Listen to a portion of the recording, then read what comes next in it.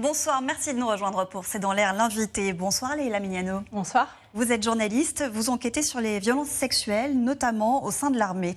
Il y a quelques jours, le magazine Paris Match publiait les témoignages de plusieurs femmes, anciennes militaires, victimes d'agressions, parmi elles Manon et Ninon, qui ont eu le courage de parler à visage découvert. Et ce qu'elles décrivent bah, ressemble beaucoup à ce que vous racontiez il y a dix ans dans votre livre La guerre invisible. Rien n'a donc changé? Non, malheureusement, non. C'est une piqûre de rappel que malheureusement l'armée euh, se sclérose, continue euh, à pas prendre la parole des victimes euh, au sérieux. là aujourd'hui, il y a Manon et Ninon, mais en disant combien de Manon et Ninon ont été victimes dans l'armée, c'est inchiffrable aujourd'hui. Ça vous étonne que ça arrive encore aujourd'hui ou finalement, après ce premier livre, vous n'avez pas tellement été étonné de la suite des événements?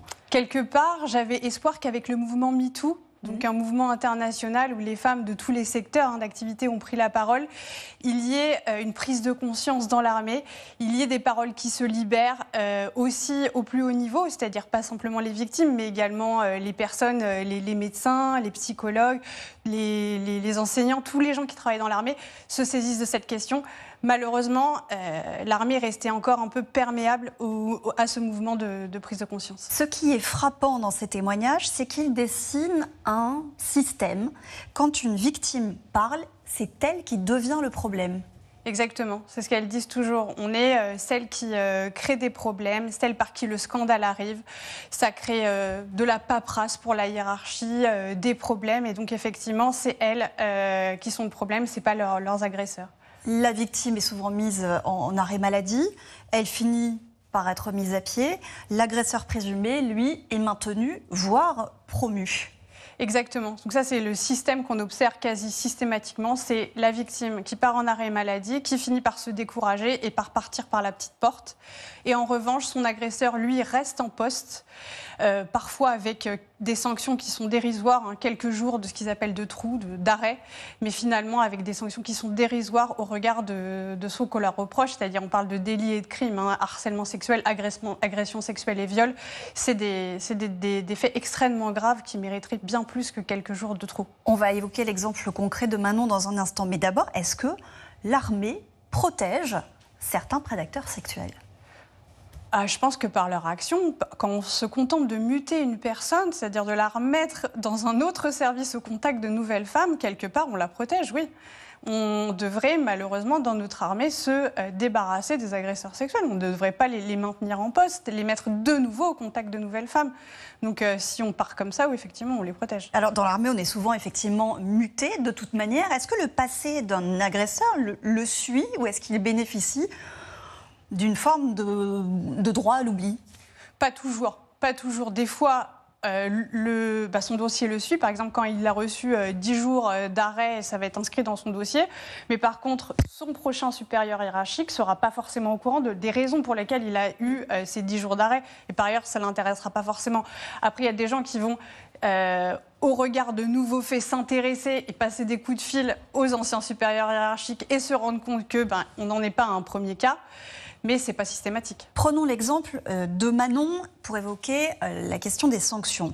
Manon a témoigné dans Paris Match. Elle raconte qu'en 2019, euh, elle s'engage dans la marine, elle embarque sur un bateau, elle y subit une agression. On est en 2021, ensuite elle embarque dans un autre navire et elle retrouve son agresseur qui recommence. L'homme reconnaît une soixantaine de faits devant la hiérarchie. Il est placé dix jours en arrêt, ce fameux trou, j'imagine. Manon, elle est débarquée. Et là encore, on voit une disproportion totale entre euh, la gravité euh, des faits et la sanction. Tout à fait. Et j'ai même des cas de femmes militaires qui elles-mêmes ont une sanction aussi. C'est-à-dire qu'on va leur dire, voilà, vous avez vous aussi 10 jours, puisque vous avez une attitude déplacée. C'est-à-dire qu'on va en plus, non seulement euh, les mettre dehors, mais en plus les sanctionner elles-mêmes parce qu'elles auraient eu une attitude déplacée. C'est-à-dire qu'elles auraient cherché euh, Exactement. On va leur dire oui, mais vous étiez présente à cette fête le soir, vous auriez pas dû être là, vous auriez dû fermer votre porte, vous aviez une attitude inconvenante. Donc elles vont elles aussi prendre 10 jours de trou. Et des témoignages comme ça, vous continuez à en recevoir? Oui, malheureusement, c'est triste. Au fil de ces dix années, on a continué à en recevoir avec ma collègue Julia Pasquale. Et aujourd'hui, avec ce MeToo des armées, euh, avec cette médiatisation euh, qui a lieu autour de, des violences sexuelles dans l'armée, on reçoit des nouveaux témoignages, notamment via les réseaux sociaux. Sur des faits euh, récents? Très récents, des faits récents et qui touchent tous les grades. C'est-à-dire qu'on a des témoignages autant de soldats du rang que de femmes officiers. Et qui sont prêtes aujourd'hui à prendre la parole? Qui sont prêtes à prendre la parole et qui sont pas celles qui sont d'actives, c'est-à-dire pas celles qui sont toujours dans les rangs, donc qui préfèrent le faire anonymement. Mais on se rend compte que MeToo est passé par là aussi, c'est-à-dire qu'aujourd'hui, c'est des jeunes femmes qui ont infusé dans cette dénonciation, donc du coup, qui ont tendance à davantage parler qu'il y a dix ans. Donc ça, c'est quand même une avancée. C'est pas grâce à l'armée, c'est grâce à cette avancée euh, sociétale euh, générale, mais c'est aujourd'hui plus facile de recueillir en tant que journaliste des témoignages de, femmes militaires. C'est la force du nombre. Pourquoi les agresseurs présumés ne sont-ils pas jugés par la justice euh, civile? Ça, c'est quand même quelque chose qu'on a du mal à comprendre. C'est-à-dire que euh, normalement, cette, formation militaire, ce serait pour protéger les secrets défense, les questions opérationnelles, etc. Donc on les juge à part.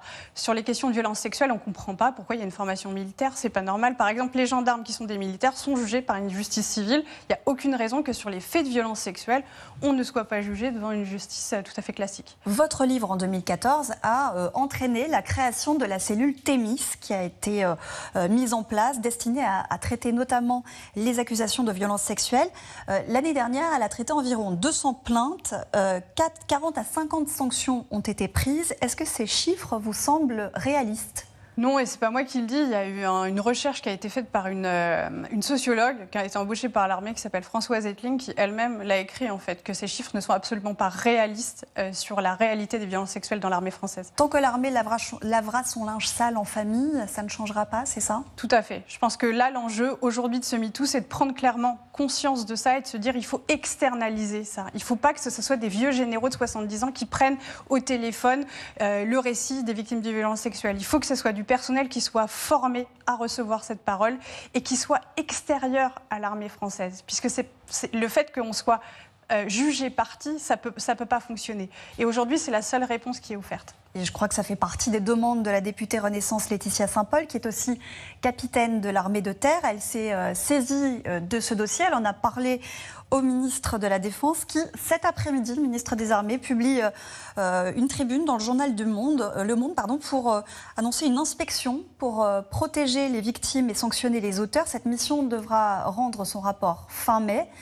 Vous dites quoi Enfin? C'est du bis repetita, c'est ce qui s'est passé il y a dix ans. C'est-à-dire qu'à l'époque, c'était Jean-Yves Le Drian qui avait dit on va lancer une inspection par des inspecteurs généraux et la réponse est dans un mois. Il a pris, il a fait exactement la même chose que son prédécesseur Jean-Yves Le Drian. Est-ce que ça va être plus efficace? Peut-être. Euh, je ne peux pas le dire, mais en tout cas, c'est du copier-coller de ce qui s'est passé il y a dix ans. Euh, la discrimination, alors dans certaines unités, d'abord, les femmes sont appelées les grosses. Euh, seulement 16% de femmes euh, sont dans l'armée aujourd'hui. Il faut que les femmes soient plus nombreuses pour être aussi plus protégées au sein de l'armée Je pense que oui, notamment au poste de commandement.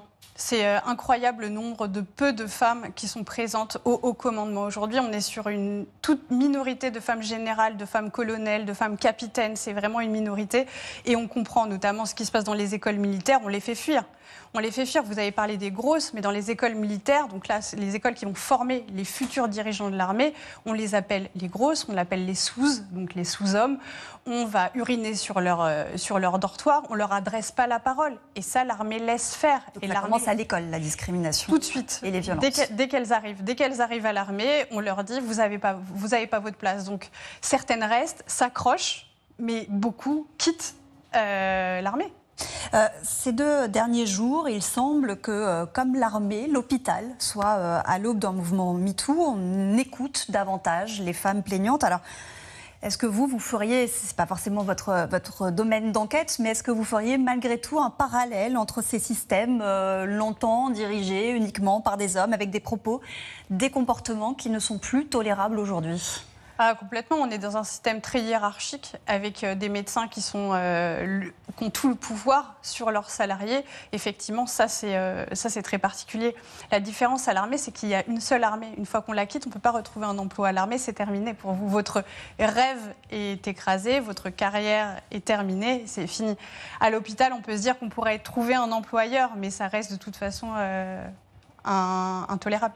Merci beaucoup, Leila Mignano. Je rappelle donc votre livre La guerre invisible, publié avec Julia Pasquale. Merci beaucoup.